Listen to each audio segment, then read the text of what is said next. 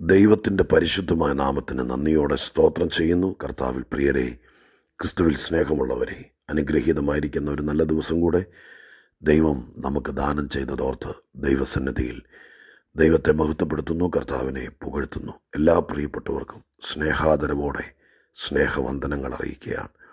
ദൈവസന്നിധിയിൽ അനുഗ്രഹീതമായിരിക്കുന്ന ഈ നല്ല ദിവസം കർത്താവിനെ അനുസരിച്ചും ദൈവത്തിന്റെ പ്രമാണങ്ങളെ ലംഘിക്കാതെയും ദൈവേഷ്ടം ചെയ്തും. പരിശുദ്ധാത്മാവിനെ ദുഃഖിപ്പിക്കാതെ ദൈവപ്രസാദമുള്ളവരായി ജീവിക്കാൻ കർത്താവിന്റെ അമിത കൃപ രാവിലെ ദൈവത്തോട് ചോദിച്ചുകൊണ്ട് ദൈവസന്നിധിയിൽ ഇരുന്ന് പ്രാർത്ഥിക്കുമ്പോൾ നിങ്ങളോട് പങ്കുവയ്ക്കുവാൻ കർത്താവ് ഇന്ന് തന്നിരിക്കുന്ന ആത്മീക അനുഗ്രഹ ദൂതിനായി ദൈവത്തെ വാഴ്ത്തി സ്തുതിക്കുന്നു. കർത്താവിന്റെ ആത്മാവ് വീണ്ടും വണ്ണം അത് വിവേചിച്ച് നിങ്ങൾക്ക് പറഞ്ഞു തരുവാനുള്ള കൃപ എനിക്ക് തരട്ടെ എന്ന് ഞാനും ദൈവസന്നിധിയിൽ താഴ്ന്നു. നിങ്ങളുടെ വിലയേറിയ പ്രാർത്ഥന ശുശ്രൂഷയ്ക്കായി ഞങ്ങൾക്കായി പ്രത്യേകം ചോദിക്കുകയും ചെയ്യുന്നു. ഇന്ന് കർത്തൃദിവസമാണ് ഞായറാഴ്ച. ദൈവസന്നിധിയിൽ ഈ അനുഗ്രഹിക്കപ്പെട്ട സഭായോഗ ദിവസം. കർത്താവിന്റെ സന്നിധാനത്തിൽ ഏറിയ നന്മകളാൽ നമ്മെ നിറയ്ക്കേണ്ടതിന് പ്രാർത്ഥനാപൂർവം കർത്താവിന്റെ സന്നിധിയിൽ നമ്മുടെ ധ്യാനിക്കാം വചനം കൈക്കൊള്ളാം അതനുസരിച്ച് ജീവിക്കാം. അതിന്റെ ഉൾക്കാമ്പുകളിൽ ദൈവം മറച്ചു വെച്ചിരിക്കുന്ന ദൈവാലോചന ശിരസ വഹിച്ച് നല്ലവരായി ധന്യരായി കൃപ ലഭിച്ചവരായി ശ്രേഷ്ഠരായി ആരുടെ മുമ്പിൽ അഭിമാനത്തോടെ ദൈവ മക്കളെന്ന പദവിയോടെ ജീവിപ്പാൻ ദൈവം നമ്മെ സഹായിക്കട്ടെ എന്ന് മനഃപൂർവം ആശംസിച്ചുകൊണ്ട് ഇന്നത്തെ ചിന്തകൾക്ക് വേണ്ടി രണ്ട് ഭാഗത്തു നിന്ന് രണ്ട് വാക്യങ്ങൾ വായിക്കും. കഴിഞ്ഞ ദിവസം പറഞ്ഞു തുടങ്ങിയതുപോലെ നമ്മുടെ ജീവിതത്തിന്റെ ദൈവം നമ്മുടെ നിർത്തിയിരിക്കുന്ന ആ ലെവൽ അതിൽ നിന്ന് എങ്ങോട്ട് പോകണം? താഴേക്ക് പോകണോ? മുകളിലേക്ക് പോകണോ? എന്നത് നിശ്ചയിക്കേണ്ടത് നമ്മളാണ്. വളരെ ഗൗരവമേറിയ ഈ ചിന്ത. ദൈവസന്നിധിയിൽ നിങ്ങളുമായിട്ട് പങ്കുവയ്ക്കുന്നു. ഈ ഒരാശയത്തിൽ നമ്മൾ നാളെ മുതൽ ഏഴ് ദിവസം ഉപവാസത്തിലായിരിക്കും. കഴിയുന്നിടത്തോളം ദൈവമക്കൾ ഉപവസിപ്പാനും പ്രാർത്ഥിപ്പാനും ഒരുങ്ങുക. ഇതൊരു വല്ലാത്ത സാഹചര്യമാണ്. ലോകം കെടുതിയിലാണ്. നാളെ എന്ത് സംഭവിക്കുമെന്ന് ആർക്കും പറയാൻ പറ്റാത്തൊരു സ്ഥിതിയാണ്. നമുക്ക് നമ്മുടെ രാജ്യത്തെ കൂടെ പ്രാർത്ഥനയിൽ ഓർക്കാം. കഷ്ടമനുഭവിക്കുന്നവരെ ഓർക്കാം. നാളെ മുതൽ ഏഴ് ദിവസം കർത്തൃസന്നിധിയിൽ പ്രാർത്ഥനയിലായിരിക്കാൻ കഴിയുന്നിടത്തോളം ദൈവമക്കൾ ഒരുങ്ങുക എന്ന് ഓർപ്പിച്ചുകൊണ്ട് ദൈവസന്നിധിയിൽ നിങ്ങൾക്ക് പങ്കുവെക്കേണ്ട വചനങ്ങളിലേക്ക് ഞാൻ പ്രവേശിക്കും. ന്യായാധിപന്മാരുടെ പുസ്തകം book of Judges chapter one verse twenty two ന്യായാധിപന്മാർ ഒന്നാം അധ്യായം ഇരുപത്തി രണ്ടാം വാക്യം. മലയാളത്തിൽ ഇങ്ങനെയാണ് യോസേപ്പിന്റെ ഗ്രഹം ബഥേലിലേക്ക് കയറി ചെന്നു? യഹോവ അവരോട് കൂടെ ഉണ്ടായിരുന്നു. ഇംഗ്ലീഷിലാണെങ്കിൽ and the house of Joseph the also went up Bethel ബഥേലിലേക്ക് കയറിച്ചു. ഇനി ഞാൻ ലൂക്കോസിന്റെ സുവിശേഷം. ലൂക്കോസിന്റെ സുവിശേഷം പത്താം അധ്യായം മുപ്പതാം വാക്യം. Luke chapter ten words thirty. ആ വാക്യം ഇങ്ങനെയാണ് മലയാളത്തിൽ. ഒരു മനുഷ്യൻ എരിശലേമിൽ നിന്ന് എരിഹോവിലേക്ക് പോകുമ്പോൾ കള്ളന്മാരുടെ കയ്യിൽ അകപ്പെട്ടു. അവർ അവന്റെ അവനെ വസ്ത്രമഴിച്ചു മുറിവേൽപ്പിച്ചു അർദ്ധപ്രാണനായി വിട്ടേച്ചു പോയി ഇംഗ്ലീഷിലാണെങ്കിൽ ആ വാക്ക് a man went down from Jerusalem to Jericho ഈ രണ്ട് വാക്യങ്ങളെ ഒന്ന് നിങ്ങളുമായിട്ട് കൂട്ടിയിണക്കി ചിന്തിക്കാൻ ആഗ്രഹിക്കുക.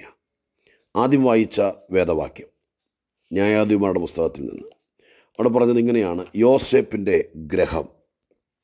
യോസേപ്പിന്റെ ഗ്രഹം എന്നൊക്കെ ഉദ്ദേശിക്കുന്നത് വേദപുസ്തകത്തിനകത്ത് ഗ്രഹം എന്ന ആ വാക്കുകൊണ്ട് ഉദ്ദേശിക്കുന്നത് ഒരു കൂട്ടൽ ഒരു ഒരു ഒരു ബറ്റാലിയൻ ആ ഗ്രഹത്തിൽ ആ കുടുംബത്തിൽ യോസേപ്പിന്റെ കുടുംബത്തോട് പെട്ട. അങ്ങനെ അങ്ങനെ ചില പ്രയോഗങ്ങൾ വേദപുസ്തകത്തിനകത്ത് കാണാൻ കഴിയും. ദാവീദിന്റെ ഗ്രഹം ജോസഫിന്റെ ഗ്രഹം ഇസഹാക്കിന്റെ ഗ്രഹം എന്നെല്ലാം പറയുന്നത്.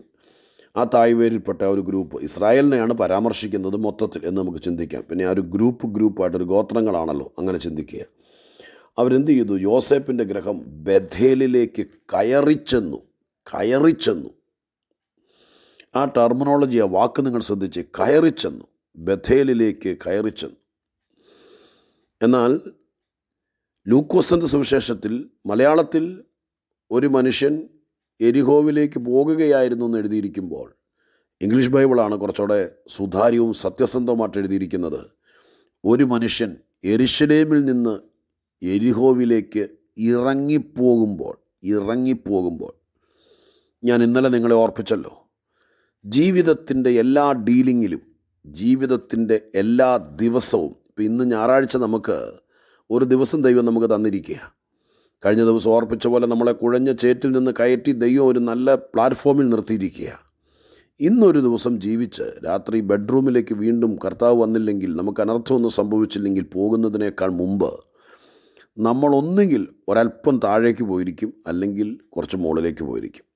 ഇതെങ്ങനെ സംഭവിക്കുന്നത് എന്ന് നിശ്ചയിക്കുന്നത് നമ്മുടെ ആക്റ്റിറ്റ്യൂഡും നമ്മുടെ ആക്ടിവിറ്റീസും നമ്മുടെ ചിന്തകളും നമ്മുടെ സംസാരങ്ങളും നമ്മുടെ ഇടപാടുകളും നമ്മുടെ മനോനിരൂപണങ്ങളും നമ്മുടെ പ്രാർത്ഥനയും നമ്മളും ദൈവമായിട്ടുള്ള ബന്ധവും ഇതൊക്കെ അനുസരിച്ചിട്ടാണ് മുകളിലേക്കാണോ താഴേക്കാണോ പോകുന്നതെന്ന് ചിന്തിക്കുന്നത്. യോസേപ്പിന്റെ ഗ്രഹം ബഥേലിലേക്ക് കയറി ചെന്നു. ബഥേൽ എന്നത് സ്ഥലത്തിന്റെ പേരാണ്. പക്ഷെ അതിന് ആത്മീകവൽക്കരിച്ച് ബഥേൽ എന്ന വാക്കിനൊരർത്ഥമുണ്ട്. അർത്ഥം ഇതാണ് ദൈവത്തിന്റെ ഭവനം. അപ്പം നമുക്ക് അങ്ങനെ ഒന്ന് ചിന്തിക്കാം. നമുക്കതിന് ആത്മീകാർത്ഥത്തോടത്ത് ചിന്തിക്കാം. ഒരു കൂട്ടം ആളുകൾ യോസഫിന്റെ ഗ്രഹമെന്നുള്ളത് ആരുമാകട്ടെ? നിങ്ങളായിക്കോട്ടെ. ഞാനായിക്കോട്ടെ. നമ്മുടെ കുടുംബം ആയിക്കോട്ടെ. നമ്മുടെ കുടുംബം അപ്പച്ചനും അമ്മച്ചിയും നിങ്ങൾ ഭാര്യയും ഭർത്താവും നിങ്ങളുടെ രണ്ട് കുഞ്ഞുങ്ങളും നിങ്ങളെല്ലാവരും കൂടി കൂടി ബഥേലിലേക്ക് അഥവാ ദൈവത്തിന്റെ ഭവനത്തിലേക്ക് കയറി ചെന്നു. ദൈവത്തിന്റെ വീട്ടിലേക്ക് ഇറങ്ങിപ്പോവല്ല കയറി ചെല്ലുക. അതൊരു ഒരു ഒരു ഉന്നതമായ സ്ഥാനമാണ്. കയറി ചെല്ലുക. ഇച്ചിരി കയറിയെങ്കിലേ അങ്ങോട്ട് ചെല്ലാൻ പറ്റുള്ളൂ ദൈവത്തിന്റെ ഭവനത്തിലേക്ക് കയറി ചെല്ലണം. സ്തോത്രം. ഉയരത്തിലാണത് ഉന്നത സ്ഥാനത്താണത് നമുക്ക് മുകളിലാണത്. അതുകൊണ്ടാണല്ലോ കയറി ചെല്ലാൻ വേണ്ടി പറയുന്നത്. ദൈവത്തിന്റെ ഭവനത്തിലേക്ക് കയറി ചെല്ലുക. ദൈവരാജ്യത്തിലേക്ക് കയറി ചെല്ലുക. ദൈവത്തിന്റെ സന്നിധിയിലേക്ക് കയറി ചെല്ലുക. ദൈവത്തിന്റെ സിംഹാസനത്തിന്റെ മുമ്പിലേക്ക് കയറി ചെല്ലുക. ദൈവത്തിന്റെ വീട്ടിലേക്ക് കയറി ചെല്ലുക. അങ്ങോട്ട് കയറി ചെല്ലുക. സ്തോത്രം. വെൻഡപ്പ് കയറി ചെല്ലുക. ദൈവത്തിന്റെ ഭവനത്തിലേക്ക്. ഒരു കുടുംബം കയറി ചെന്നു. എന്തോ പറ്റി? കുറേ കഴിഞ്ഞപ്പോൾ അവർക്ക് സംഭവിച്ചത് ഒന്നാം അധ്യായത്തിന്റെ മുപ്പത്തി അഞ്ചാമത്തെ വാക്യത്തിനകത്ത് എഴുതിയിട്ടുണ്ട്. ഇവിടെ എഴുതിക്കുന്നു എന്നാൽ യോസേപ്പിന്റെ ഗ്രഹത്തിന് ബലം കൂടിയപ്പോൾ അതെന്താ അതിന്റെ അർത്ഥം? പറയാം. ദൈവത്തിന്റെ വീട്ടിലേക്ക് ആര് കയറി ചെല്ലുന്നു? ദൈവത്തിന്റെ വീടിന്റെ ഇങ്ങനെ പരിയം ചുറ്റി നടന്ന്? ഇതുപോലത്തെ വാട്സാപ്പ് മെസ്സേജൊക്കെ കേട്ട് എല്ലാവരുടെയും പ്രസംഗം യൂട്യൂബിൽ നിന്ന് സെർച്ച് ചെയ്തെടുത്ത് നമുക്കിഷ്ടപ്പെട്ടവരുടെ പ്രസംഗം മാറി മറിച്ചും കേട്ട് ഉപദേശപരമായിട്ട് എന്തെങ്കിലും ഇച്ചിരി കർക്കശമായി പറയുവാണെങ്കിൽ അവരെ ഒഴിവാക്കി അങ്ങനെ നമ്മൾ ദൈവത്തിന്റെ പുരടത്തിലൂടെ ചുറ്റിപ്പറ്റി നടന്നാൽ നമുക്ക് ബലം കൂടിയല്ല പിന്നെയോ ദൈവത്തിന്റെ വീട്ടിലേക്ക് കയറിച്ചെന്നു കയറിച്ചെന്നു സ്തോത്രം. അങ്ങോട്ട് കയറി ചെന്നു കയറി ചെന്ന് കുറച്ച് നാൾ കഴിഞ്ഞപ്പോൾ ദൈവത്തിന്റെ വീട്ടിൽ കയറിയ ആരും ക്ഷയിച്ചു പോയിട്ടില്ല. ദൈവത്തിന്റെ വീട്ടിൽ കയറിയ ആരും കുറഞ്ഞു പോയിട്ടില്ല. ദൈവത്തിന്റെ വീട്ടിൽ കയറിയ ആരുടെയും ബലം കെട്ടുപോയിട്ടില്ല. രോഗവും പ്രയാസവും ബുദ്ധിമുട്ടൊക്കെ ഉണ്ടായേക്കാം. പക്ഷേ അവരെ കരുത്ത് ആ വീടുമായിട്ട് ഒരു ടൈയപ്പിലേക്കെത്തി ഒരു ഉടമ്പടിയിലേക്കെത്തി. നമ്മുടെ കൊച്ചു വീട് നമ്മുടെ സാധാരണ വീട്. സ്തോത്രം. ആ വീട്ടിൽ നിന്ന് നമ്മൾ ദൈവത്തിന്റെ വീട്ടിലേക്ക് കയറി ചെന്നു. ബഥേലിലേക്ക് കയറി ചെന്നു. അവിടെ കയറി ചെന്നതോടുകൂടെ അവിടുത്തെ സിറ്റുവേഷനുമായിട്ട് നമ്മൾ അവിടുത്തെ സാഹചര്യങ്ങളുമായിട്ട് നമ്മൾ ഇടപെട്ടു. അങ്ങനെയല്ലേ നമ്മൾ സാധാരണയൊക്കെ. ഞാൻ ഉദാഹരണം പലപ്പോഴും ഉപയോഗിച്ചിട്ടുള്ള ഉദാഹരണം വീണ്ടും ഉപയോഗിക്കാം. ഒരു സാധാരണ വീട്ടിലൊരു പെൺകുട്ടി സാധാരണക്കാരിയായ ഒരു പെൺകുട്ടി അവളൊരു ഉയർന്ന കുടുംബത്തിലേക്ക് വിവാഹിതയായി ചെന്നാൽ അവിടെ ചെന്ന് കഴിയുമ്പോഴേക്കും അവൾ ഒരു അഞ്ചാറ് മാസം കഴിയുമ്പോൾ ഒരു കൊല്ലം കഴിയുമ്പോൾ അവളുടെ നാട്ടിൽ നിന്ന് ഒരു ഗ്രാമീണ പശ്ചാത്തലത്തിൽ നിന്ന് ഞെരുക്കമുള്ള വീട്ടിൽ നിന്ന് വലിയ വീടും വലിയ സെറ്റപ്പും വലിയ കിച്ചനും വലിയ ഡൈനിങ് ടേബിളും സെറ്റപ്പും മിഷൻ നമ്മളെ എന്താ പറയുക എക്യുപ്മെൻസും ഒന്നും ഇല്ലാത്തൊരു വീട്ടിൽ നിന്നൊരു നല്ല വീട്ടിലേക്ക് കയറി ചെന്ന് കഴിയുമ്പോൾ അവിടെ സെറ്റപ്പിനൊക്കെ മാറ്റം വരും. എന്നതുപോലെ മനുഷ്യവർഗം മുഴുവൻ മനുഷ്യന്റെ താഴെ കിടന്ന വീട്ടിൽ നിന്ന് രക്ഷയിലൂടെ ദൈവകൃപയിലൂടെ കർത്താവിനെ കിട്ടിയതുകൊണ്ട് നമ്മൾ ദൈവത്തിന്റെ വീട്ടിലേക്ക് കയറി ചെന്നു. ദൈവത്തിന്റെ വീട്ടിലേക്ക് കയറി ചെന്നവർ അവിടെ ചെന്ന് ആരാധന പ്രാർത്ഥന വിശുദ്ധ ജീവിതം ദൈവത്തെക്കുറിച്ച് അടുത്തറിയൽ ദൈവമക്കളുമായിട്ടുള്ള സഹകരണം ആത്മീകമായിരിക്കുന്ന വലിയ അഭിഷേകത്തിന്റെ ഒഴുക്ക് പരിശുദ്ധാത്മാവിന്റെ സഹകരണം വചനത്തിലെ നിശ്ചയം വാഗ്ദത്തങ്ങൾ കൃപാവരങ്ങൾ ശുശ്രൂഷകൾ ആത്മശക്തി ഇതെല്ലാമാണല്ലോ ദൈവത്തിന്റെ വീട്ടിലെ പരിപാടി.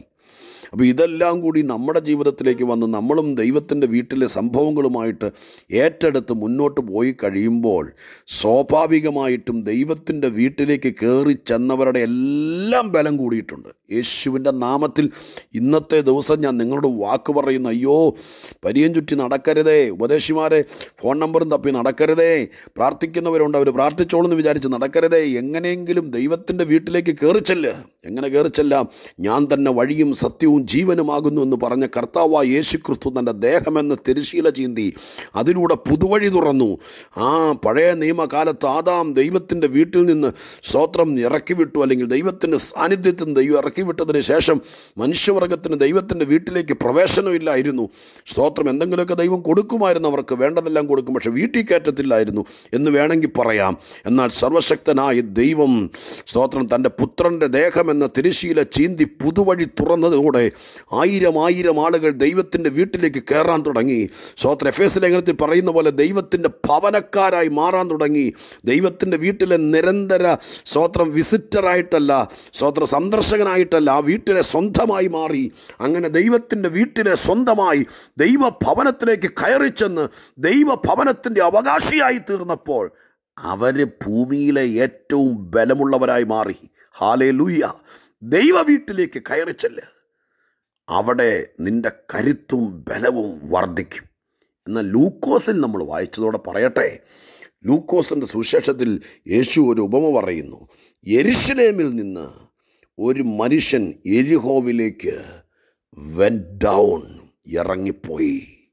അപ്പോൾ എരിശലേമിലേക്ക് കയറി ചെന്നേ പറ്റൂ. എരിശലേമിൽ നിന്ന് എരിഹോവിലേക്ക് ഇറങ്ങിപ്പോക്കാണ് ദൈവം നമ്പുരാൻ. എരിശിലേം ദൈവത്തിന്റെ നഗരമാണ്. എരിശിലേം ദൈവാലയമുള്ള സ്ഥലമാണ്. എരിശിലേം യാഗവും ആരാധനയുമുള്ള സ്ഥലമാണ്. എരിശിലേം വിശുദ്ധന്മാരുടെ സ്ഥലമാണ്. എരിശിലേം ദൈവപ്രസാദത്തിനും ദൈവത്തിന്റെ ദൃഷ്ടി പതിഞ്ഞിരിക്കുന്ന സ്ഥലമാണ്. അവിടെ ദൈവം നിന്നെ കൊണ്ടുപോയതാ. ഈ മനുഷ്യൻ എന്തോ കാണിച്ച് ഒറ്റപ്പെട്ട് എരിഹോവിലേക്ക് ഇറങ്ങിപ്പോവുക ഇറങ്ങിപ്പോയവൻ എന്തോ പറ്റി? കള്ളന്മാരുടെ കയ്യിലകപ്പെട്ടു സ്തോത്രം. അറിയാവുന്ന സൺഡേ സ്കൂൾ സ്റ്റോറിയാണ് എങ്കിലും ഞാൻ നിങ്ങളെ പറഞ്ഞു പഠിപ്പിക്കുക സ്തോത്രം. എരികോവിലേക്ക് ഇറങ്ങിപ്പോയി. ഇറങ്ങിപ്പോകുമ്പോൾ കള്ളന്മാരുടെ കയ്യിലകപ്പെട്ടു. വസ്ത്രം അഴിച്ചു മുറിവേൽപ്പിച്ചു അർത്ഥപ്രാണനായി വിട്ടിട്ട് പോയി. എന്തോ പറ്റി? ക്ഷതം വേദന നഷ്ടം ബലം കെട്ടു ബലഹീനനായി. ഇറങ്ങിപ്പോയവരൊക്കെ തോറ്റിട്ടുണ്ട്. ഇറങ്ങിപ്പോയവരൊക്കെ തകർന്നിട്ടുണ്ട് ഇറങ്ങിപ്പോയവരൊക്കെ മുറിവേറ്റിട്ടുണ്ട് ഇറങ്ങിപ്പോയവരൊക്കെ വഴിത്തലയ്ക്കൽ കിടക്കേണ്ടി വന്നിട്ടുണ്ട് ഇറങ്ങിപ്പോയവരെല്ലാം അർത്ഥപ്രാണനായിട്ടുണ്ട് ഇറങ്ങിപ്പോയവരൊക്കെ പിന്നെ ആരെങ്കിലും പിടിച്ച് എഴുന്നേപ്പിക്കേണ്ടി വന്നിട്ടുണ്ട് ഇറങ്ങിപ്പോയവരെയൊക്കെ സ്വത്രം ജീവനും കൊണ്ട് ഭാഗ്യം കൊണ്ട് രക്ഷപ്പെട്ടു എന്ന് പറഞ്ഞാൽ മതി. ജീവിച്ചിരിക്കുന്നു എന്നുള്ളതല്ലാതെ ഒത്തിരി ക്ഷതമേറ്റു. അതുകൊണ്ട് തന്നെ കേൾക്കുന്ന പ്രിയപ്പെട്ട ദൈവമക്കളെ രണ്ട് വഴികൾ കർത്താവ് നമ്മുടെ മുമ്പിൽ വെച്ചിരിക്കുന്നു. ആത്മീകമായിട്ട് കയറി ചെല്ലാൻ വിശ്വാസത്തിന്റെ പുതുമേഖലയിലേക്ക് കയറി ചെല്ലാൻ സത്യസന്ധമായ ദൈവകൃപയിലേക്ക് കയറി ചെല്ലാൻ സ്വർഗത്തിലെ ദൈവത്തിന്റെ വാതായനങ്ങൾ ഇന്നും തുറന്നു വെച്ചിരിക്കുന്നു. സ്തോത്രം രോഗമോ കഷ്ടമോ പ്രയാസമോ എന്തും തന്നെയാകട്ടെ നിങ്ങൾ ഏതെങ്കിലും ഒരു പ്രാർത്ഥനാ മനുഷ്യന്റെ വീട്ടിലേക്ക് കയറി ചെല്ലണം. അത് നല്ല കാര്യം. പ്രാർത്ഥിച്ചോളണം അതല്ല ആത്മീയമായിട്ട് ദൈവത്തിന്റെ വീട്ടിലേക്ക് കയറി ചെല്ലണം. ഈ ദൂത് കേൾക്കുന്ന നിങ്ങൾ ഈ ദിവസങ്ങളിൽ വിലയിരുത്തണം.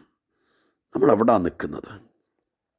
ഇല്ലെങ്കിൽ ഇന്ന് ദൈവത്തോട് പ്രാർത്ഥിക്കണം. ദൈവമേ എനിക്ക് അങ്ങടെ ഭവനത്തിലേക്ക് കയറി വരണം. ദൈവാത്മാവ് നിങ്ങളെ കൂട്ടിക്കൊണ്ടു പോകും. ദൈവം നിങ്ങളെ സഹായിക്കും. കർത്തൃദാസന്മാരും പരിശുദ്ധാത്മാവും എല്ലാം ശുശ്രൂഷകളെല്ലാം ആഗ്രഹിക്കുന്നത് നിങ്ങൾ കയറി ചെല്ലണം. ദൈവത്തിന്റെ ഭവനത്തിലേക്ക് കയറി ചെല്ലണം. സ്തോത്രം. അവിടെ കയറി ചെല്ലുമ്പോൾ നിങ്ങളുടെ ക്ഷീണം മാറ്റുന്ന നിങ്ങളെ തകർത്തോണ്ടിരിക്കുന്ന പ്രശ്നം മാറ്റുന്ന നിങ്ങളുടെ രോഗത്തെ ജയിക്കുന്ന നിങ്ങൾക്കെതിരെ ശത്രു എയ്ത് വിട്ടിരിക്കുന്ന ഒളിയമ്പുകളെ ജയിക്കുന്ന അതിനെ കെടുത്തിക്കളയുന്ന പ്രത്യേകമായിരിക്കുന്ന ഒരു അഭിഷേക തലം ദൈവത്തിന്റെ വീട്ടിലുണ്ട്. ദൈവത്തിന്റെ വീട്ടിലേക്ക് കയറി ചെന്നവർക്ക് പോരാട്ടമുണ്ടെങ്കിലും അവരാരും ബലഹീനരായിട്ടില്ല. സ്തോത്രം ചെയ്യുന്നു. ഹല്ലേലൂയ. അടിമത്തത്തിൽ കടന്ന ഇസ്രായേൽ ജനത്തെ ദൈവത്തിന്റെ വീട്ടിലേക്ക് ക്ഷണിച്ചു. അതുകൊണ്ടാണ് എബ്രാഹിം ലേഖനത്തിൽ എഴുതിയിരിക്കുന്നത് മോശ ദൈവ ഭവനത്തിലൊക്കെയും വിശ്വസ്തനായിരുന്നു. അപ്പോൾ ദൈവഭവനം എന്ന് പറയുന്ന ഒന്നുണ്ടായിരുന്നു.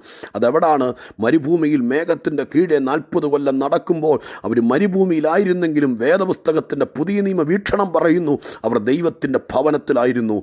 സ്തോത്രം അടിമകളെ പോലെ ഇസ്രായേലിൽ കിടന്ന് എല്ലുമുറിയെ പണിയെടുത്തിട്ടും പിന്നെ അവർ നടന്നു എന്നൊക്കെ പറയുന്നത് വലിയ പാടാണ്. അതുപോലെ അടികൊണ്ട് പണിയെടുത്ത് നിലത്തിട്ട് ചെളി ചവിട്ടിക്കുഴയ്ക്കുന്നത് പോലെ ചവിട്ടിക്കുഴച്ച ജനം ദൈവത്തിന്റെ വീട്ടിലേക്ക് കയറി വന്നതോടുകൂടെ പിന്നത്തേതിൽ റിപ്പോർട്ട് പുറത്തു വന്നു മെഡിക്കൽ സ്കാൻ പുറത്തു വന്നു. ഊനമുള്ളവരാരും അവരുടെ കൂടെ ഉണ്ടായിരുന്നില്ല. ചുമയും ക്ഷയവും സ്വോത്രം ശ്വാസം മുട്ടലും ഒന്നും അവർക്ക് ആർക്കും ഉണ്ടായിരുന്നില്ല. അതാണ് ആ വാക്കിന്റെ അർത്ഥം. എന്താ കാര്യം? ദൈവത്തിന്റെ വീട്ടിലേക്ക് കയറി ചെന്നാൽ ആ മേഘത്തിന്റെ കീഴെ ചെന്നാൽ ആ തണൽ പറ്റി നടന്നാൽ അഗ്നിസ്തംഭത്തിന്റെ വെട്ടമടിച്ചാൽ ഹല്ലേ ലുയ്യ അതിന്റെ കീഴെ നിന്നവർക്കാർക്കും ബലഹീനതയുണ്ടായില്ല. ദൈവത്തിന്റെ വീട് വിട്ടിറങ്ങിപ്പോകുന്നവനൊക്കെ മുറിവേക്കും. അവൻ ചുമച്ചും കുരച്ചും ഒരു മൂലയിൽ ഒതുങ്ങിയിരിക്കേണ്ടി വരും. ശ്രോത്രാലയിലുയ അവൻ ക്ഷീണിച്ചു പോകും. അവൻ ബലഹീനനാകും. ജരാനരകൾ ബാധിച്ചവൻ സമയത്തിന് മുമ്പേ ക്ഷയിക്കും. പ്രാണൻ അർത്ഥപ്രാണനായി പോകും ബലം കെട്ടുപോകും. വസ്ത്രമഴിച്ചെടുത്ത് ആളുകൾ അപമാനിക്കും. ദുഷ്ടലോകം അപമാനിക്കും. എന്നാൽ ദൈവത്തിന്റെ വീട്ടിൽ സുരക്ഷിതത്വമുണ്ട്. അതുകൊണ്ട് ഇന്നും ഞാൻ നിങ്ങളെ ഓർപ്പിക്കുന്നു. ഇറങ്ങിപ്പോകരുത്. ഇറങ്ങിപ്പോകരുത്. ദൈവത്തിന്റെ വീട്ടിലേക്ക് കയറിച്ചെല്ല് പ്രാർത്ഥന കൊണ്ട് ഉപവാസം കൊണ്ടെല്ലാം നമുക്ക് കയറിച്ചെല്ലാം നാളെ മുതൽ ഉപവാസം പ്രാർത്ഥനയുമാണ്. നമ്മൾ ഇന്ന് നിൽക്കുന്ന ലെവലിൽ നിന്ന് കുറച്ചുകൂടെ കയറി ചെല്ലുകയാണ്. ദൈവത്തിന്റെ സിംഹാസനത്തിന്റെ അടുക്കലേക്ക് ദൈവത്തിന്റെ ഭവനത്തിലേക്ക് വീണ്ടും കയറി ചെല്ലേണ്ടതിന് നമുക്ക് ഒരുങ്ങാം. ഇറങ്ങിപ്പോകരുത്. ചിലരോടുള്ള വാശിക്ക് ചില കാര്യങ്ങളിൽ സ്തോത്രം നമ്മൾ പെട്ടുപോയതുകൊണ്ട് ഈ വാട്സാപ്പും യൂട്യൂബൊക്കെ ഉപയോഗിച്ച് നമ്മൾ ഇറങ്ങിപ്പോകരുത്. വേണ്ടാത്ത ബന്ധങ്ങളിലൊന്നും അകപ്പെട്ട് ഇറങ്ങിപ്പോകരുത്. നാശമാണ് നഷ്ടമാണ് അപമാനമാണ്. ദൈവത്തിന്റെ വീട്ടിലേക്ക് കയറിച്ചെല്ലാം ബലപ്പെട്ട് ജീവി ദൈവം നമ്മെ സഹായിക്കട്ടെ. പരിശുദ്ധ ദൈവമേ ഞങ്ങളുടെ സ്വർഗീയ പിതാവേ ഈ അനുഗ്രതമായിരിക്കുന്ന നല്ല ദിവസം കർത്താവിന്റെ വചനത്തിലൂടെ ഞങ്ങളോട് ഇടപെട്ടു എന്ന് ഞങ്ങൾ പൂർണമായും വിശ്വസിക്കുക. ഒരിക്കലും ഞങ്ങൾ താഴെ പോകാൻ ആഗ്രഹിക്കാത്ത ദൈവമേ ബഥേൽ അങ്ങയുടെ ഭവനമാണ്. അവിടേക്ക് വന്നവരെ ആരും ദൈവം കൈയൊഴിഞ്ഞിട്ടില്ല. അവരൊക്കെ മാനിക്കപ്പെട്ടിട്ടുണ്ട്. അവർ അർത്ഥപ്രാണരായിട്ടില്ല മുറിവേറ്റിട്ടില്ല. ലോകത്തിലെ ഏറ്റവും ശ്രദ്ധ ഭവനം ദൈവത്തിന്റെ ഭവനമാണ് അവിടെ ചെന്ന് കയറിയവനെ ദൂതന്മാർ സംരക്ഷിക്കും. ദൈവം ദൃഷ്ടി വെച്ച് ആലോചന പറഞ്ഞു കൊടുക്കും. ദൈവത്തിന്റെ കൃപ കൊണ്ട് നിറയ്ക്കും. എന്നാൽ ആര് ദൈവത്തിന്റെ സാന്നിധ്യം വിട്ടിറങ്ങിപ്പോയിട്ടുണ്ടോ? അവരെയൊക്കെ വഴിത്തലക്കൽ വെച്ച് ശത്രു കടന്നു പിടിക്കും. അവൻ ലക്ഷ്യം വെച്ച എരിഹോവിൽ അവൻ എത്തില്ല. അതിനു മുമ്പ് അവൻ വഴിയിൽ പട്ടുപോകും. ദൈവമേ ഈ മുന്നറിയിപ്പിൻ ദൂതനായി സ്തോത്രം. ഞങ്ങളാരും ഈ കോവിഡ് കാലത്ത് ദൈവത്തിന്റെ കൃപ വിട്ടു പോകാൻ ദൈവത്തിന്റെ സാന്നിധ്യം വിട്ടു പോകാൻ ഞങ്ങളോ ഞങ്ങളുടെ കുഞ്ഞുങ്ങളോ ഞങ്ങളുടെ സഹശുശ്രൂഷകരോ ആരും ഞങ്ങൾക്കുള്ളവരാരും ദൈവത്തിന്റെ സാന്നിധ്യത്തിൽ നിന്ന് ദൈവത്തിന്റെ വീട്ടിൽ നിന്ന് ഈ ദിവസങ്ങൾ ഇറങ്ങിപ്പോകരുതേ. കർത്താവിന്റെ ഭവനത്തിൽ തന്നെ തമ്പടിപ്പാൻ കയറി ചെല്ലാൻ കൃപ ചെയ്യണമെന്ന് പ്രാർത്ഥിക്കുന്നു. പ്രാർത്ഥന കേട്ടതിന് നന്ദി. യേശുവിൻ നാമത്തിൽ അപേക്ഷിക്കുന്നു. കേൾക്കണേ സ്വർഗീയ പിതാവേ. ആമേൻ.